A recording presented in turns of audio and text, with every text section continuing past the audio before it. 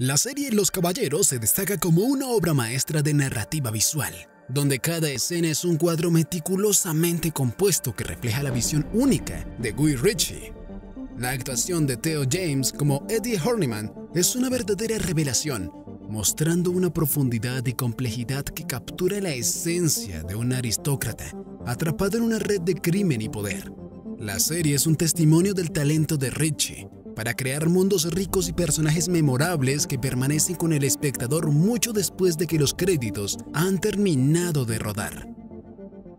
Bienvenidos a Peli Express, donde podrás disfrutar de esta y otras series increíbles. Trae unas golosinas contigo y acompáñanos a un mundo de lleno incertidumbre y emociones a flor de piel. En el inicio, encontramos a Eddie Horniman, capitán de la Guardia de la Reina, quien se apresura hacia el castillo familiar al recibir noticias de la grave enfermedad de su padre, un aristócrata rico. Allí se encuentra con el resto de la familia, su hermano mayor Freddy, destinado a heredar el título y las posesiones, su hermana menor Charlie y Lady Sabrina, su madre. Su padre reprocha a Eddie su servicio a la corona y cómo ha descuidado a la familia. ¿Crees que eres valiente por evadir tus deberes y jugar a los soldados? Pues no lo eres. Tras la muerte de Lord Horniman, se revela que ha dejado la mayor parte de su imperio a Eddie, en lugar de a Freddy, lo que desencadena la furia de este último.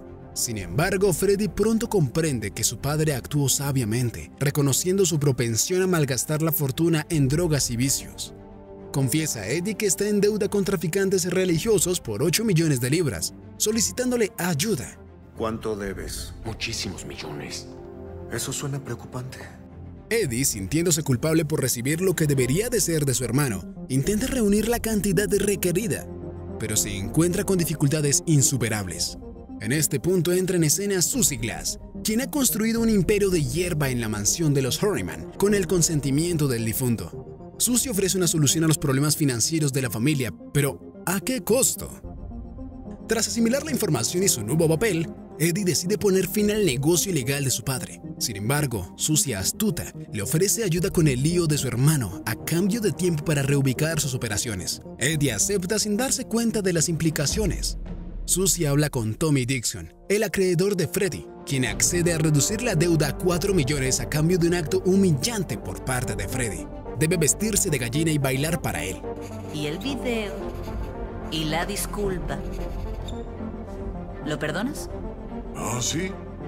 Eddie le comenta esto a Freddy, y este no tiene más remedio que aceptar, pero Freddy, bajo la influencia de drogas, termina matándolo en un arranque de rabia.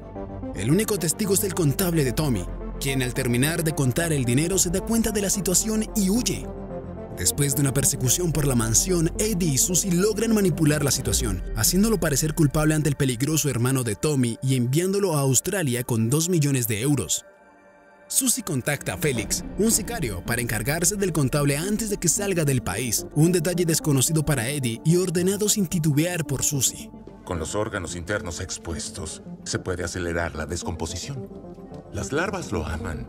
Tras liberar a su hermano de los problemas anteriores, Eddie se ve nuevamente envuelto en un asunto turbio. Debe robar un lujoso coche para un cliente al que Susie no pudo entregarle a tiempo el cargamento prometido, debido a que Jimmy, un leal empleado de Susie, cayó en la trampa de una misteriosa mujer llamada Gabriel, perdiendo la furgoneta con el cargamento. Eddie y Freddy intentan engañar a Piedad, líder de la organización criminal de coches de lujo, pero todo se tuerce y Freddy es secuestrado por la mujer. Eddie y Susie deben rescatarlo, entregando al cliente al que intentaban robar el coche. Así Piedad resuelve la situación a machetazos.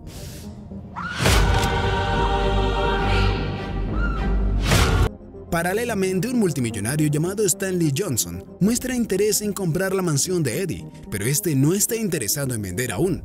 En cambio, quiere deshacerse del negocio ilegal de Susie en su propiedad y exige hablar con el verdadero líder del imperio, Bobby Glass, con quien llega a un acuerdo para eliminar el negocio de la finca para finales de año. Sin embargo, con el tiempo, Eddie comienza a disfrutar del poder y descubre que hace un buen equipo con Susie. Juntos enfrentan los desafíos y logran negociar con un grupo de gitanos para convertirlos en sus nuevos distribuidores por Europa. Entonces, ¿tenemos un trato o qué? Pues No hasta que nos acabemos toda esta botella. Aunque Eddie se está sintiendo cómodo en el mundo criminal, sigue decidido a mantener a su familia al margen de los negocios turbios. Lady Sabrina, su madre, está colaborando con él para encontrar otros aristócratas dispuestos a acoger el negocio ilegal que su difunto marido ocultaba.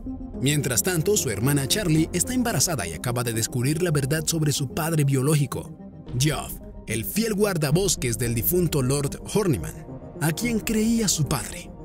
Por otro lado, Freddy, su hermano, está cada vez más convencido de que junto a Jimmy ha creado una nueva variedad de hierba que podría revolucionar el mercado. Luego, bola, crack hierba. O hierba crack, ya no me acuerdo cómo me dijo. Freddy, Freddy, para. Con este panorama y decidido a hacer el bien, Eddie exige a Susie que saque el negocio de su propiedad una vez pasado el plazo acordado. Sin embargo, Susie y su padre no tienen intención de irse y le piden más tiempo para legalizar el dinero obtenido ese año. Eddie accede, pero se involucra en el proceso para agilizarlo. Susie le presenta a un intermediario que puede legalizar 15 millones de libras en tres meses, pero Eddie descubre casualmente en un gimnasio de boxeo a un tipo, Henry Collins, que puede hacerlo en semanas.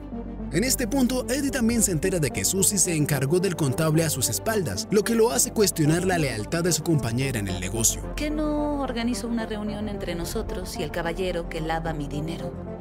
Consciente de que los Glass no tienen intención de abandonar la finca, Eddie decide acelerar el proceso recurriendo a Stanley Johnson junto a su hermano Freddy. Intenta conseguir una lista de aristócratas locales a los que Johnson pueda persuadir para comprar el negocio de los Glass, ofreciéndole su finca como parte de trato. Sin embargo, la situación se complica cuando Susie confronta a Henry por enviar a su hermano Jack al hospital en una pelea de boxeo arreglada. Susie decide vengarse, asesinando a los ayudantes de Henry y tendiéndole una emboscada. En ese momento, Henry revela los tratos a sus espaldas con Eddie y Stanley. Resulta que Henry trabaja para Johnson y ha estado manipulando los problemas de Eddie y Susie desde el principio. Sintiéndose traicionada, Susie decide llamar al hermano de Tommy, Dixon, y le cuenta que Freddy y Eddie están detrás de la desaparición de su hermano. Pero sé quién mató a su hermano. Freddy Horniman le voló los sesos mientras estaba vestido de gallina. Rápidamente este se presenta en la mansión de los Horniman con sus matones dispuestos a vengarse. Ante la crisis, Bobby Glass interviene y decide pagar al hermano de Tommy para que se retire, anunciando además que va a vender su imperio para jubilarse. Eddie y Susie contactan con posibles compradores para su negocio, pero una conversación con su hermano Freddy lleva a Eddie a decidir que quiere seguir sintiéndose poderoso. Reúne el dinero necesario para superar otras ofertas, convenciendo a Susie y a Henry de unirse a él. Eliminan a Johnson al descubrir un fraude fiscal y se deshacen de piedad al enfrentar a otro postor. Finalmente, la única oferta en pie es la de Eddie y Susie, quienes están decididos a trabajar juntos. Sin embargo, Bobby revela que nunca tuvo intención de vender su imperio. Todo fue un plan para motivarlos a invertir y mostrarles que juntos pueden llegar lejos. Con sus rivales eliminados, los tres se preparan para expandir el imperio. Todo el punto de decirte que iba a vender mi negocio era para despertarte. Lo que haces no es comprar el negocio, es invertir en él. Así Solo queda un cabo suelto, Henry. Eddie ofrece encargarse de él, pero Susie insiste en que lo haga él mismo, para demostrarse que está comprometido a convertirse en un gran capo de la droga. Eddie acepta y se encarga de eliminar a Henry. Finalmente, vemos a Bobby haciendo negocios desde su prisión de lujo con Stanley Johnson. La familia Glass ha consolidado su poder y está lista para dominar el mundo del crimen. ¿Y bien? ¿Te quedaron golosinas? Si la respuesta es sí, te invitamos a ver más videos como este en nuestro canal. Suscríbete y da like. Si la respuesta es no, igual suscríbete.